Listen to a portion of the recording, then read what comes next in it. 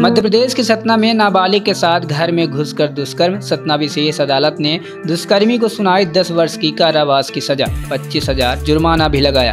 नमस्कार, मेरा नाम है शिवम कुशवाहा और आप देख रहे हैं द खबरदार न्यूज़। नाबालिग से रेप के एक साढ़े पाँच वर्ष पुराने मामले में सतना में पाक्सो एक्ट की विशेष अदालत ने अपराधी को दस मध्य प्रदेश के सतना में नाबालिग के साथ घर में घुसकर दुष्कर्म। सतना विशेष अदालत ने दुष्कर्मी को सुनाई दस वर्ष की कारावास की सजा, पच्चीस जुर्माना भी लगाया। नमस्कार, मेरा नाम है शिवम कुशवाहा और आप देख रहे हैं द खबरदार न्यूज़। नाबालिग से रेप के एक साढ़े पाँच वर्ष पुराने मामले में सतना में पाक्सो एक्ट की विशेष अदालत ने अपराधी को 10 वर्ष के सश्रम कारावास और पच्चीस हज़ार रूपए के अर्थदंड की सजा सुनाई है। विशेष न्यायाधीश पाक्सो एक सतना शिल्पा तिवारी ने आरोपी रामकरण बागरी, तनय पुरुषोत्तम बागरी, उनचास साल निवासी ग्राम वसुधा थाना नागौद को अलग अलग धाराओं में कारावास और अर्थदंड से दंडित किया है। दोषी पाए गए रामकरण को धारा 450 में सात वर्ष के सश्रम कारावास और पाँच हज़ार रूपए के अर्थदंड, धारा तीन सौ छिहत्तर दो आई में दस वर्ष के सश्रम कारावास और पाँच हज़ार रूपए के अर्थदंड,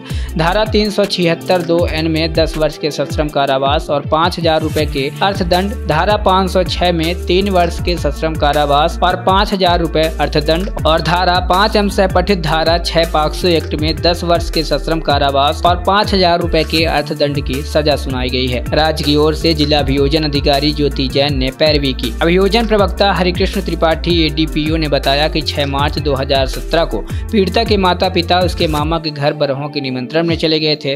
वह घर पर अकेली थी, तभी शाम लगभग चार बजे आरोपी रामकरण बागरी उसके घर आया और उससे उसके मम्मी पापा के बारे में पूछने लगा। पीड़िता ने उसे बताया कि वे घर पर नहीं है। यह सुनकर रामकरण गया नहीं, बल्कि बाहरी रखी चारपाई पर बैठ गया। उसके बाद पीड़िता अपने कमरे के अंदर गई, तभी रामकरण बागरी कमरे के अंदर आ गया और दुष्कृत किया। पीड़िता ने शोर मचाने की कोशिश की, लेकिन आरोपी ने उसका मुँह दबा दिया।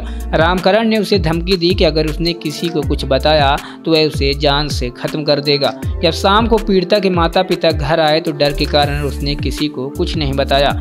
लेकिन इसके बाद आरोपी पीड़िता पर उसके घर आने का दबाव बनाने लगा। तब सारी बात उसने अपनी माँ को बताई। उसने यह भी बताया कि रामकरण दो बार पहले भी उसके साथ ज़बरदस्ती कर चुका है। तब पीड़िता ने अपने माता पिता के साथ थाना पहुंचकर रिपोर्ट दर्ज कराई। ब्यूरो रिपोर्ट, द खबरदार